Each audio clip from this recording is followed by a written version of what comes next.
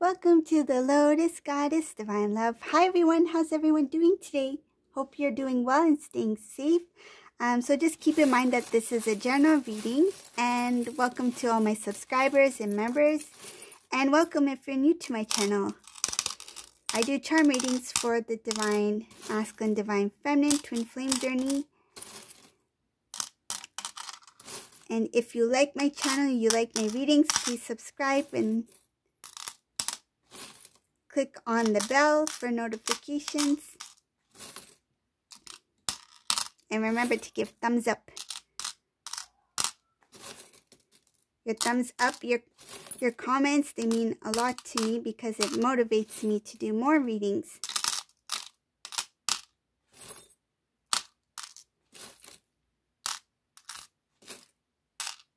I love reading your messages.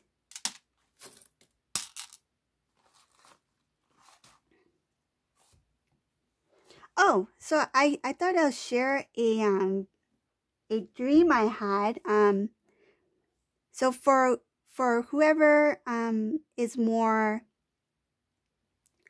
more if you have more knowledge about this because it's not um, my area of expertise but um, i had a dream about um, geometric shapes and um, one of the images i had was of the uh, flower of life. So, what I dreamt was that there was a divine masculine. Oh, maybe I should. Oh, that's okay. I'll, I'll explain it. So, um, I had a dream about a divine masculine, the side, and then there was a divine feminine here.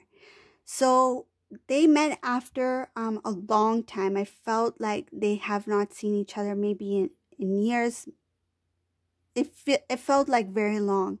Um, they made eye contact. Neither of them communicated.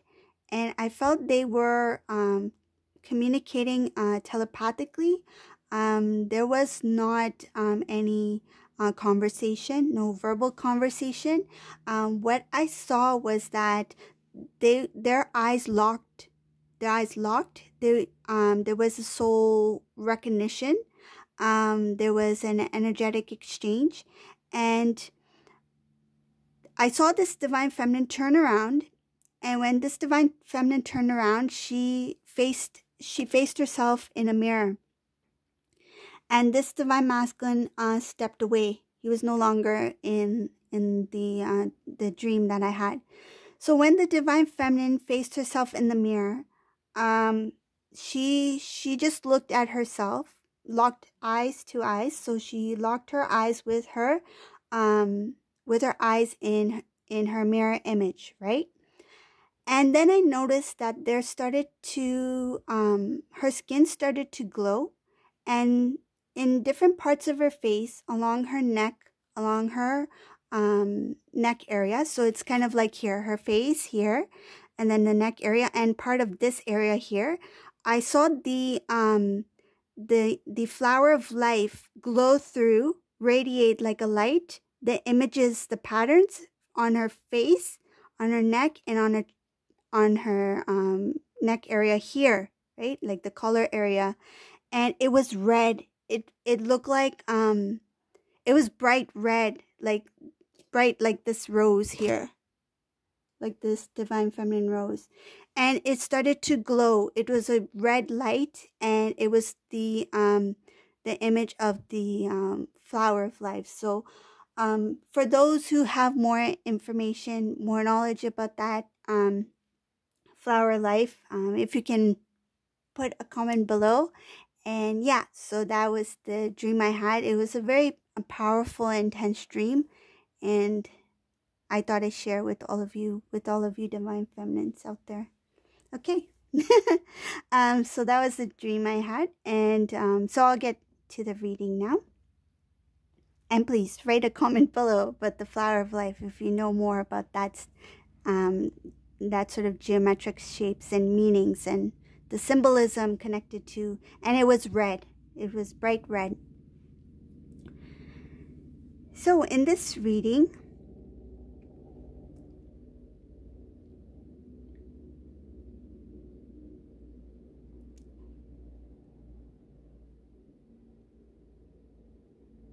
this divine masculine, um, he doesn't know how to restore the connection between divine feminine and himself. There's no communication at this time. Whoever this resonates for, these two are in no communication. They're not talking. They haven't seen each other in a while. Um, there's a little bit of an immaturity uh, when it comes to this divine masculine energy. I feel like he's being a little bit like, I don't want to be the first one to reach out, or I don't think I should um, there's a little bit of embarrassment here. I feel like um, he wants to talk to Divine Feminine. He may feel that the next time Divine Feminine um, reaches out to me, then I will um, speak um, what I feel. Um, this may be because in the past, this Divine Feminine may have reached out uh, once in a while, but this Divine Feminine no longer uh, wishes to do so. But this divine masculine is under the impression that this divine feminine will eventually uh, reach out again as a kind of like a check-in. He thinks that divine feminine is going to do a check-in, like, "Hey, how are you doing? How are you doing during this time? You know, or is everything okay? How's your family doing?" But no, this divine feminine is like, "I've had enough." I feel like this divine feminine is like, "I had enough with being the first to always reach out constantly." Be the first to text message, call, or ask others how he's doing. I feel this divine feminine has completely stepped away. Energetically, she has stepped away from this connection uh, with this divine masculine. I feel like she's released the outcome. This is a divine feminine who's completely grown into her full strength as a divine feminine energy. And she is in balance she she knows um, her self-worth. She has a lot of self-love self-respect. Um, but this divine masculine is hoping that this divine feminine eventually shows some sort of sign that they are still there so that they can start to i feel speak their mind.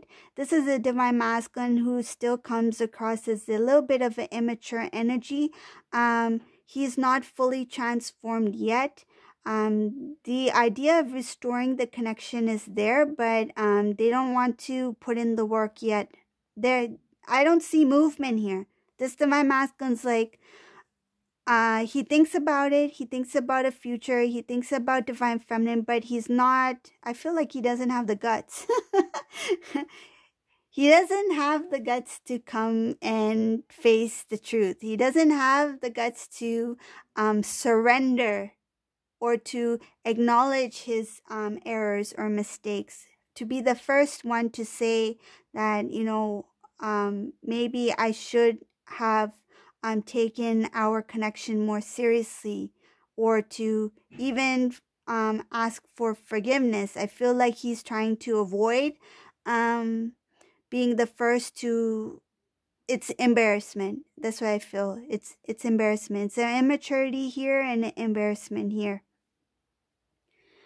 So what what does this mean for this too? Um, up ahead, so later down the road, I see this uh, divine masculine. He will eventually figure it out that okay, divine feminine's not here. okay, um, it's been a few months now, and I don't see or hear anything from divine feminine. Hmm. Maybe maybe I should um maybe I should be the one to see how Divine Feminine's doing. And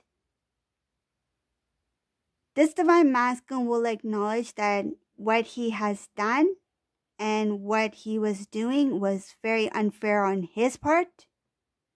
And he will want to start anew.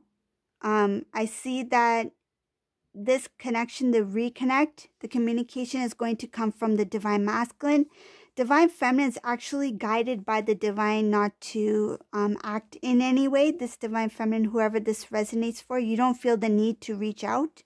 Um, you have this inner knowing that the divine masculine will return someday, somehow. And I feel like you're very patient.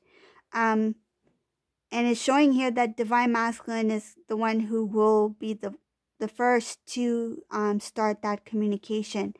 It looks like that he needs to put his um his ego uh, pride aside and to kind of like step up to the plate, like put that immaturity aside and be the first one to uh, break the silence because I see here that he will um he will start that communication and once he starts that communication it's going to start off as something small um I feel like he doesn't want to appear too too um needy. He thinks that by expressing too much it's like he is kind of like um he doesn't want to sound like he's desperate or needy in any way. So when he does reach out to this divine feminine, he's going to um kind of like play it cool. Um not he's not going to say much, but he will give hints here and there. I feel like I know divine feminines will be like, again, why why doesn't he just speak speak what he feels? Why doesn't he just be straightforward? But there's fear here. Um, so he's going to kind of give a little bit of a hint, hoping that you will figure it figure it out. um, it it feels it feels like uh, he's he's nervous. That's what it feels like. He's he's scared um about how how things will turn out, how you may react. Um uh, it's going to be something tough for him to to do, but he will do it. I mean, I feel like he will have no other choice. Either either he comes forward and speaks um, his truth, try to start that communication, or you know wait on this porch and hope that divine feminine opens that door. Um, do you want another blankie? Because if you wait too long, it might be wintertime. so this divine masculine is like, I think I need to um, be the first to act. Um, so when he does make that movement towards divine feminine, and it comes in a little bit of a mature, mature energy, um, things will start to move. Things will start to manifest. Um, there will be happiness. I see here that there's going to be um, some sort of like um, not only a reunion i feel like there's going to be families reconnecting like there's there's a, many people involved here when these two could disconnected um certain individuals from the divine masculine side divine feminine side they also parted ways as well. I feel um they did that out of respect for you know their family member. Um but yeah that's what i see here that once these two come back into communication the other family members or friends will slowly start to you know um rec- reconnect again. So i see that people coming together there's going to be a new beginning um it will be strong it will it will be something new fresh. I feel like everything will um be different. Like these two are going to have um they will make plans that they never imagined. Like i feel like they they both had different plans um about life but when these two come together um their plans are going to be a lot different. And by then they have both been um been through a lot. They've both grown a lot. They've changed a lot and they have different interests now. So with these changes comes like different um, different interests different outcomes. So their life will go in a different direction. And this is all um, this this is something that was destined. Because i see here that what their life will become is something that they do not plan for each other. It's something that they were destined to become and to do for each other and for others. Um, they will be guided by the divine. They will be shown um, the way. I feel they will be shown what what direction they need to go to uh, towards. Um, they will have the strength to do it. They will be very strong individually but once these two um, reconnect their life is going to go a totally different direction this is something that they don't even uh, know yet they don't expect um, they don't expect some I feel it's a huge drastic change. Your life is going to be totally different. It's going to bring a lot of blessings, um, not just for you, but those around you. you are i feel like you have a um you have um some sort of it feels like you, what you put your energy into what you what you do um it brings um happiness and blessings around you. It brings blessings to others as well. You i feel like you too will be doing some sort of uh, divine mission work. That's why there's um others involved coming together. There's a lot of unity. There's happiness. There's um dreams that are being fulfilled. And i feel like it has to do with um one of the things that that i feel you two will be doing it has to do with how when you disconnected and and the path that you led on your own. So the information the knowledge that you've obtained being in your singleness um, that information will be shared i feel. That information will be some sort of support for others to guide others like what were you doing before before your un- union i feel? Um it was at a time when you were learning self-love self-growth. So there's there's a lot of things um good things good energies coming in this reading for you too.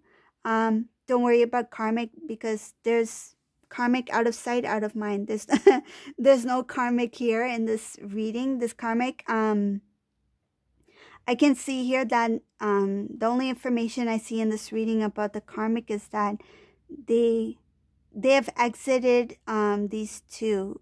Like they that energy is completely released. Whoever this resonates for, they're not in this divine masculine's life and they're not in the divine feminine's life.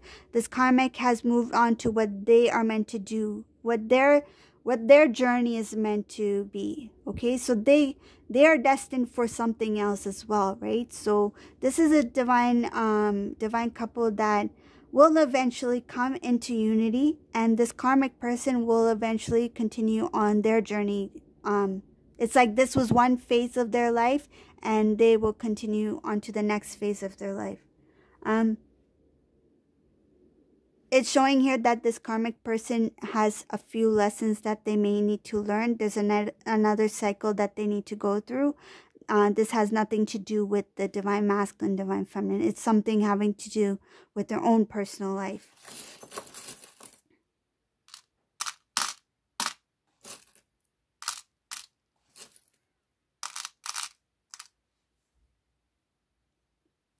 Uh, divine masculine he wants to put um, the past behind, um, meaning when you two were together, the things that didn't work out, he wants to kind of like wipe the slate clean. He wants to forget all of that. And he's hoping that when he reconnects with you, that you two can work together, that that you will be able to I feel he he wishes for forgiveness. This is a divine masculine who's trying to forgive himself and he's wishing that you also forgive him um so that you two can kind of like start fresh start um anew. Um because this is a divine masculine who's now um he sees your he sees your beauty. He sees how unique you are. He sees how loyal you are.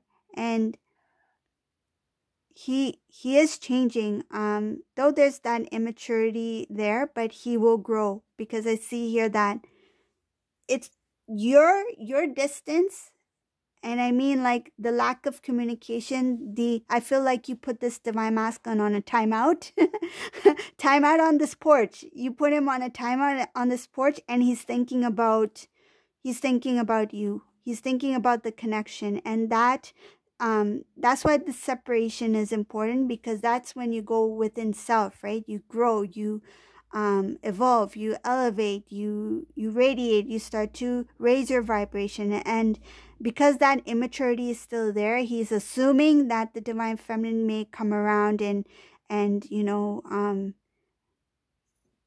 try to reconnect with the divine masculine, but I feel it's not going to happen in this case. This divine feminine is very um I feel like she's she she knows what she wants, what she deserves and she's standing she's um it feels like she's standing by her word. like she's taken she she took a i feel like she promised the divine she promised herself that i will i will do what's best for me uh, i will look after me and i acknowledge uh, what this divine path is and what the divine masculine needs to go through and i feel like she's given that divine masculine the space to grow and this divine masculine will grow because of that separation he will grow in that silence and then he will break the silence because I see um, something about coming in with communication. Uh, it won't be an easy um, easy way for him to start. Like I feel like either it doesn't matter how he starts the communication. It's going to be uh, a little bit scary for him. Um, but eventually he will he will express what he really feels. It's just in the beginning. I feel it's just the just to um, break the silence, uh, that, that part is going to be the toughest part for him or her. Just take care as it needs. So this is the reading for today. I hope you like this reading. Um, please uh, hit on the like button, subscribe to my channel, and please leave a comment below if you if you have anything to say about this uh, reading, or um, if you'd like to add about the um, flower of life. Then I'd love to hear that from you. Okay, thank you all for watching, and have a great day. Bye, everyone.